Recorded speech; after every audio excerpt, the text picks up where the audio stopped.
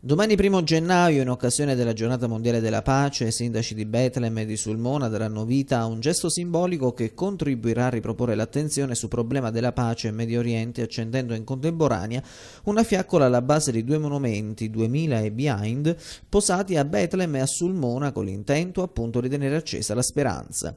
Il monumento in questione, realizzato dal presidente del Parco Nazionale della Maiella Franco Iezzi, ispirato alla pace e alle tre religioni monoteiste, è stato posato a Betlem lungo la strada della Mangiatoia in occasione del grande giubileo del 2000. Una copia dell'opera è stata realizzata anche a Sulmona. I tre anelli, che rappresentano appunto il legame tra le tre religioni monoteiste, si sostengono in alto a dispetto della legge di gravità sostenuti dal forte anelito della pace.